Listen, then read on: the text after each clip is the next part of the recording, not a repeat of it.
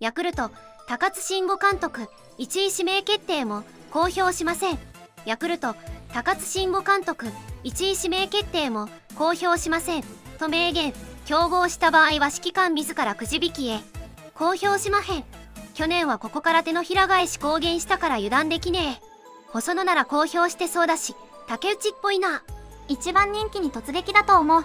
当たらいでしょ。指名は補強ポイントだし。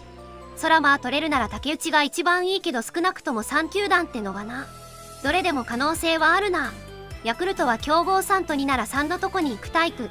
公表しないということは国学院大学の竹内だろうな。細野ならまだどこも公表していないから公表した方がいい。でもヤクルトってたまにこういう感じで一本釣り狙ってる時あるからな。どこ狙うんやろな。やっぱり一本釣りか？とりあえず野手が悲惨すぎるから野手を獲得しろ。このままじゃ未来ないぞ。ほんまに。ご視聴ありがとうございました。